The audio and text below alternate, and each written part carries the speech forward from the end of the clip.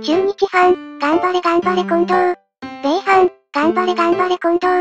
スリーアウトで優勝レベルの完成。優しい世界。9回の表、中日の近藤選手が D 打線に苦戦して10失点してしまう。そうすると両外野席から、近藤コールが巻き起こった。近藤投手がスリーアウトを取ると、優勝決定並みの大歓声がドーム内に響き渡った。めっちゃいい話。優しいな。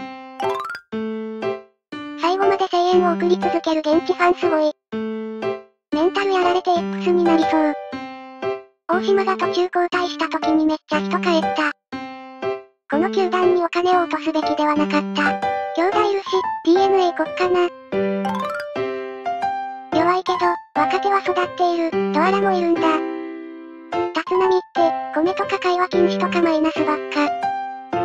近藤はよく頑張ったよ。心ないファンは、打たれるたびにずっと騒いでたけどさ。米ファン、ありがとう。ドラドラ情報局は、中日の素晴らしい情報をお届けしているので、チャンネル登録、よろしくお願いします。